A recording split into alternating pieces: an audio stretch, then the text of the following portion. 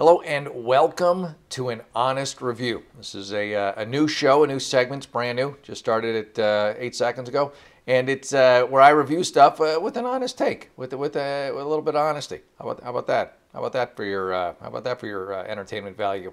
This week it's going to be Netflix's movie Project Power. Now, granted, this movie's like you know I think at least two years old, but I just saw it yesterday on Netflix. So, like, you know, sorry. Sorry I'm a little late to the party. But if I just saw it on Netflix, you're probably going to see it too. It's like one of those movies where you're like, I, I didn't, I, I, why is this? Uh, uh, all right, it looks like it could be interesting. Power, uh, Power, Project Power is about uh, they take a bunch of pills and uh, and these pills give them superpowers, but some you know some are better than others, and you don't really have any say as to what superpower. It's it's a it's it's a lot of lazy writing uh, crammed into I don't know maybe an hour and a half that, that seems like three. Uh, the movie stars Jamie Foxx, so I mean that's that's a, that's a solid actor right there. That, that that's a that's a that's a A-list actor. And then there's the the guy from I think Third Rock, uh, Gordon Joseph Levitt or um, Joseph. I don't know. He's got like three names, and he, he was in uh, he was in he was in uh, uh, he's been in some stuff. yeah, I'm his agent. I, am his agent. It, it doesn't really matter. He wasn't. He wasn't really very good at it. Now Jamie Foxx was good. I mean, I guess Jordan Jordan Jordan jo- ah forget it. The guy who plays the uh, the lead, he's the cop in New Orleans. Uh, he, he's, uh, he, he's he's he's taking these pills and they make him bulletproof. And each pill gives you like a different power. So like his power is he's bulletproof and it only lasts for five minutes, which is also like, uh, all right, I guess. Why, huh? You literally spend half the movie trying to figure out why these pills are even in circulation. Like you're like, okay, so uh, the, the plot is uh, there's a drug dealer and he's giving all these pills out and getting giving people these pills and it gives them these superpowers. Sometimes you explode if you take one because you just I don't know. It's like you, upset your stomach a little and next thing you know you you blow up. And so you're like, well, why why are they doing this? So let me let me save you the trouble that I had to, to, to sit through to find out. Apparently uh, these were guinea pigs. They were using people in New Orleans as guinea pigs to see if these pills worked, and then they were going to farm them out to armies everywhere so they could have animal power. And, and the animal powers are like, they're, they're odd. They're odd. They're just, they don't make any sense. Like, like the first power you see is this guy takes one of these pills because uh, he wants to kill the Jamie Foxx character who's looking for his daughter. That's the whole premise of the story. Uh, and uh, and so he takes one of these pills, and he he like all of a sudden like becomes like the flame that's not even a real character, is it? he comes, he catches fire. He can run around and he's on fire. And I'm like, all right, what the hell? What the hell animal is that? What, what is that like a fire? Is that a firefly maybe? What the, the hell is that? So like, uh, you know, I, I, researched the movie a tiny bit. I, I Googled it once. Uh, and, uh, you know, 85 million for this colossal piece of dreck. And it turns out uh, this character, who the, the, fire guy, is Machine Gun Kelly, who I don't recognize because in the movie he's got like he's all disfigured. I guess because he catches fire a lot, and then there's some residual, you know, flesh damage. So like you don't even know it's him. How much money did they pay Machine Gun Kelly to be in this movie? And then you like you wouldn't even know he was in it. You'd be like, oh, he really he was the. I only know because I looked it up and it said Machine Gun Kelly. And I'm like.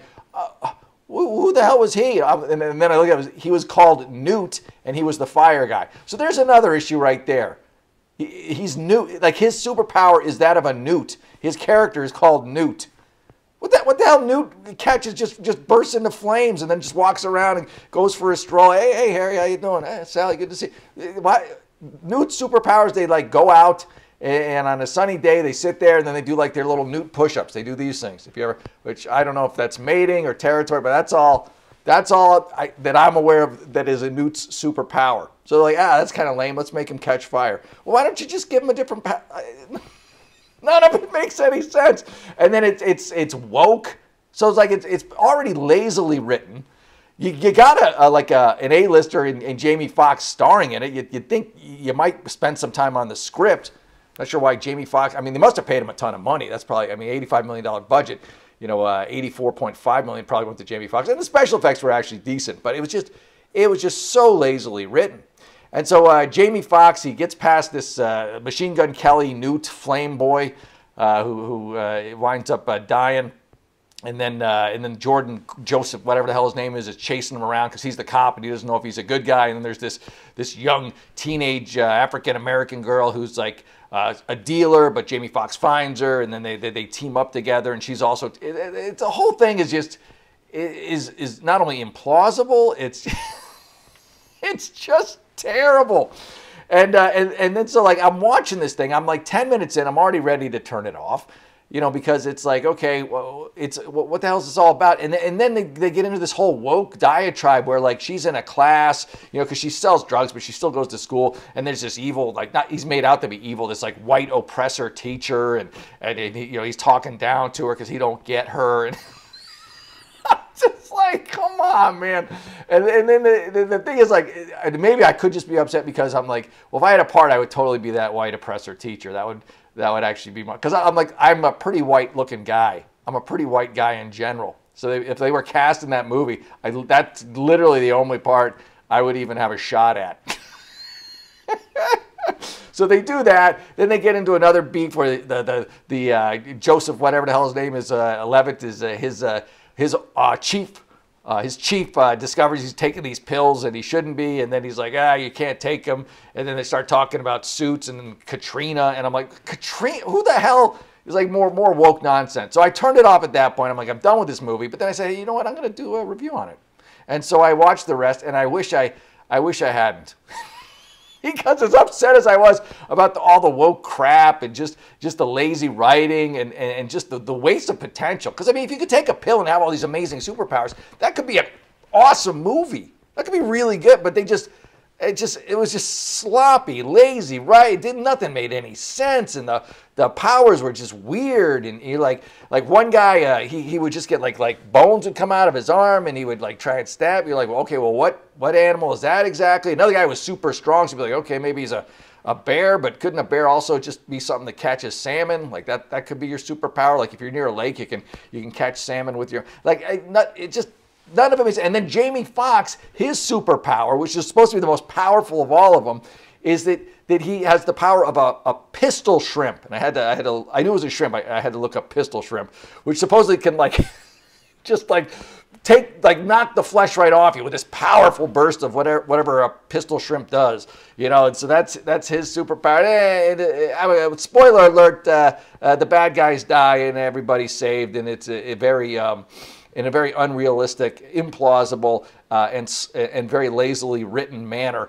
And you're left at the end of it like, oh, I, I should have just hung up after it started getting all woke. But but but if it's any plus, and I don't think it is, the woke's not the worst part of the movie. I mean, it's just it's awful. It's just terribly written. I'll get I'd give it out of five. I'd give it two, but only because you know eh, eh, there's, there's some fighting, there's some special effects, you know, and when their stuff's actually moving it's kind of interesting. You kind of forget that you know the build up to it was was was nonsensical slop, but but there you know at least at least there's fighting now.